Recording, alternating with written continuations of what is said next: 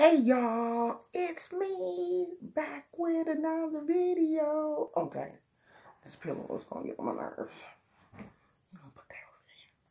Okay, so um, I told you guys that I was going to come in with a lesson about Papa Legba and again since um there's a video that I made that is two years old and it is getting a lot of attention since the situation with the young girl in Virginia. I have not went back and uh, looked at that video, but I'm pretty sure that everything I said in that video still stands. If you don't know anything about the Loas and the Orishas and about voodoo and Santeria, if you're not willing to do any type of research about these religions, leave it alone. My opinion about that still stands. I don't care who you think your grandma is or your grandma was or your ancestors was. If you don't know nothing about it, leave it alone. You. So, I'm going to give you a lesson about um, Papa Legba. And this is coming from the Voodoo Hoodoo spell book by Denise Alvarado. This will probably be the thumbnail. Because then you still going to get in the comments and be like, what's the name of that book? Where that book come from? What's the name of that book? Okay. Oh, that's upstairs. So, we're going to go into this. I'm, I'm busy. No, you can't. Not right now, okay? Because I'm, I'm busy. Can you come back? Okay, thank you. Here, go in here. Go in your house. I knew that was going to happen as soon as I got started. Stay in there, please. Um, okay. So, uh, the way this book teaches, it's going to go into the name of the Loa, the name of the Orisha. It's going to give you a comparison and kind of a contrast between uh, Haitian uh, voodoo and a little bit of Santeria. So it says in Haitian voodoo as well as New Orleans voodoo, because Haitian voodoo and New Orleans voodoo is practiced two different ways.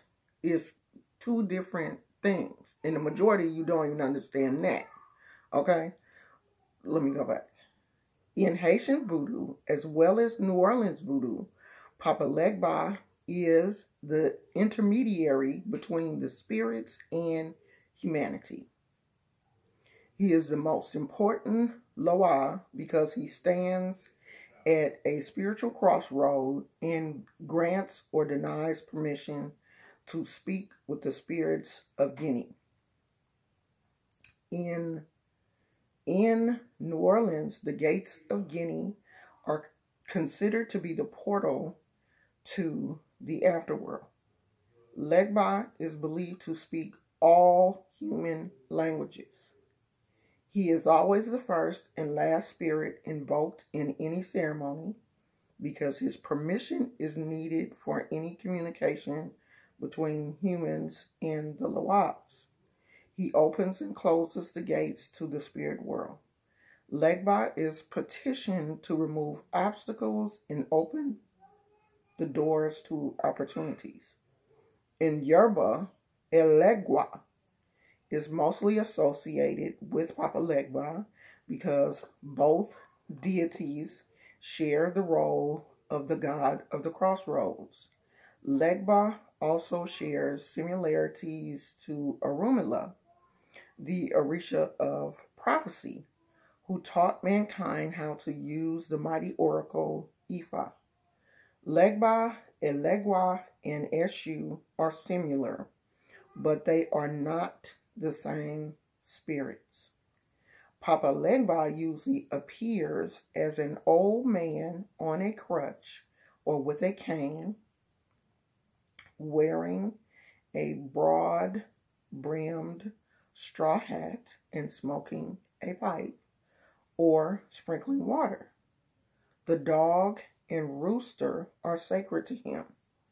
Because of his position as gatekeeper between the worlds of the living and the mysteries, he is often identified with St. Peter, who holds a comparable position in the Catholic tradition.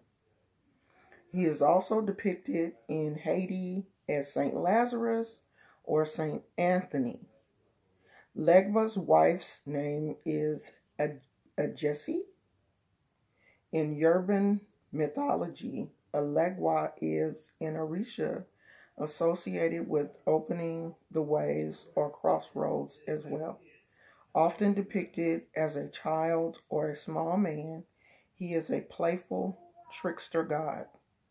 Worshippers often place a cement head with a metal spike in the top and cowrie shells for eyes and mouth as a representation of Elegua behind their front door. He is believed to protect the entryway and prevent harm from entering the home. Receiving a consecrated Elegua head is part of the Santeria initiation known as the Warriors. Elegua is the messenger of the Orishas and guardian of the doors. Without him, nothing can be accomplished. His child aspect is liking to the Catholic saint El Nino de, Acho- de Atoche. Legba and Elegua are said to like candy, toys, and coconut as offerings or anything children would enjoy. In return, they help people overcome various um, problems. And they do have the signal, which is the. Uh, I'm not into uh, voodoo, so I'm not into drawing, um, you know, these signals, but they do have it. And I'm sure that that one is associated with Legba and Elegua. Now, like I have told you people before, these are my ele uh, lekes. I have been um, initiated in Santeria. And this is my um, bead for Elegua. Okay, I did receive these through my uh, first initiation. I have been initiated into Santeria and I have also uh, received the first hand of Ifa. I do not practice voodoo, Haitian voodoo. And the majority of you people that follow me, y'all don't either. Okay? If you have not been initiated, you do not have godparents, you do not have someone who has been initiated to train you and teach you, you're not practicing either. Now, there are a lot of us out here who practice what is considered uh, hoodoo because that is something that, you know, you can learn and, and you pick up from maybe other people that practice or whatever, but that is totally different from being initiated into one of these African uh, traditional or uh, Haitian uh, religions. Okay?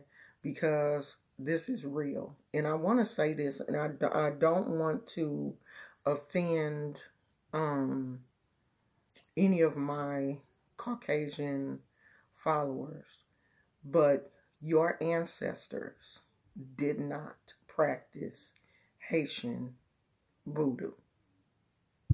Okay? Because the reason why Haitians even started practicing voodoo was to get the white people, that was their way of fighting.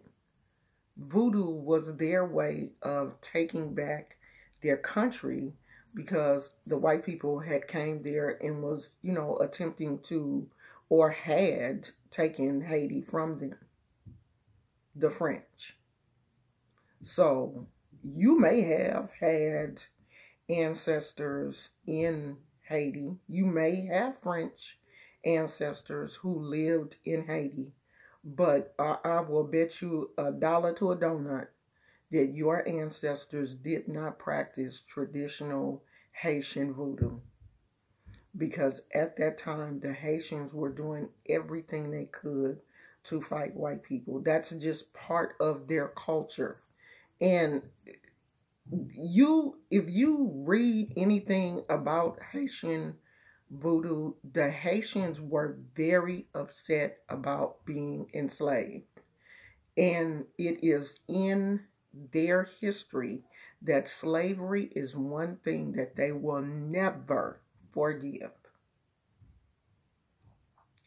So, if the Haitians are not forgiving the white people for enslaving them, do you really think that they would trust you with the mysteries of their religion?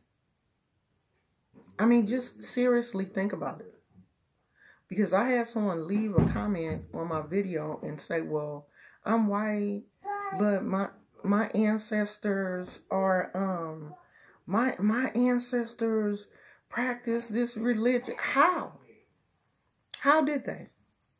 How were they able to do that?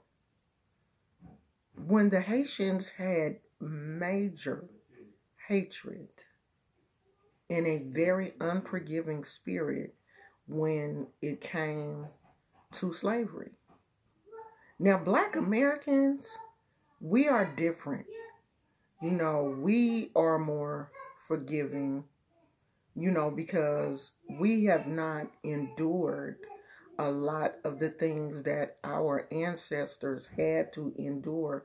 We didn't endure that type of pain. Like we may have you know, read books and seen movies, and of course, those movies affect us, but we haven't dealt with that pain on a serious level because we've always been free.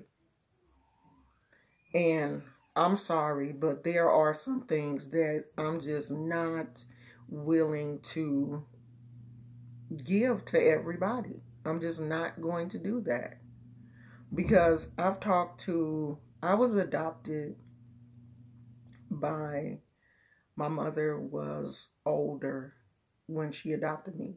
She was already in her 50s, and I was five when she um, adopted me. Now, she was born in 1917, so you can imagine what she has been through from 1917 up until the time when she passed away in 2011. And some of the stories that she told me about picking cotton and, you know, working as a domestic worker for Caucasian people and, you know, just jobs that she had to take in the way that she was treated, even driving from Louisiana to California because her and my dad moved out here to, you know, to California from Louisiana. He got a job out here on the Southern Pacific Railroad. And, you know, this was supposed to be California.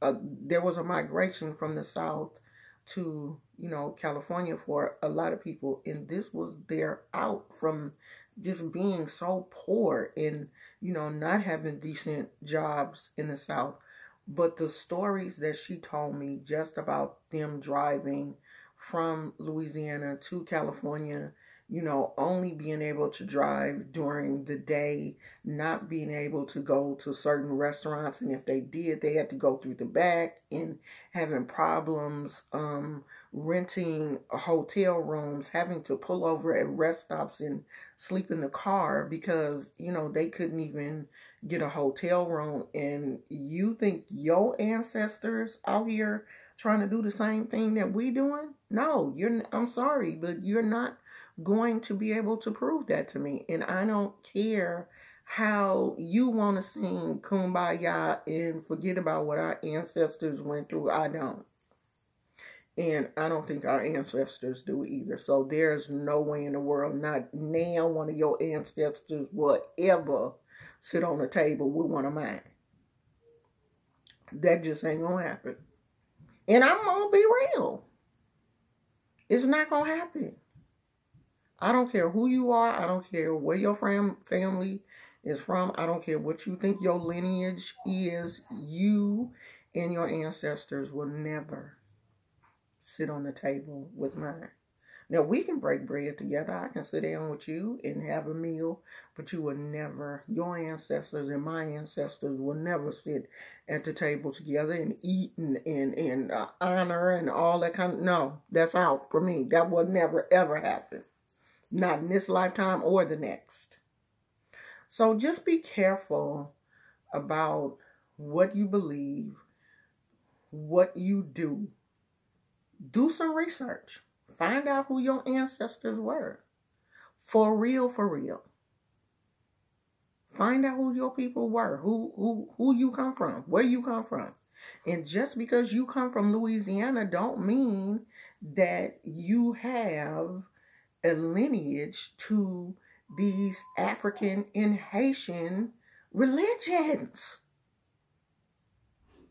You don't see us out there river dancing in in in wearing kilts and stuff. So why now do you want to practice voodoo and hoodoo and, and all of this kind of stuff? Ask yourself why you want to do it.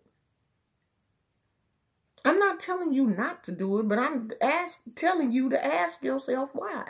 And you can get in them comments and act as crazy if, as you want to, because if I don't like your comment, I will delete it. And there are certain words that you can use that will not even show up. So y'all have fun in them comments and um, come back later on tonight so we can have a real serious conversation about Papa Legba, Haitian, Haitian voodoo, Haitian voodoo.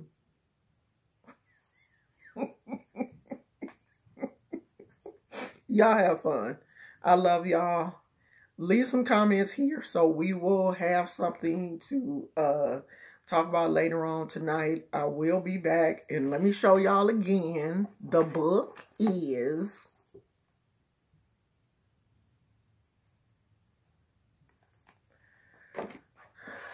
And this is another one.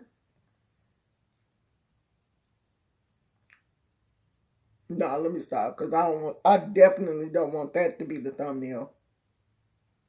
Okay, so I will talk to you guys later on this evening. I love you. Have a good day. Bye.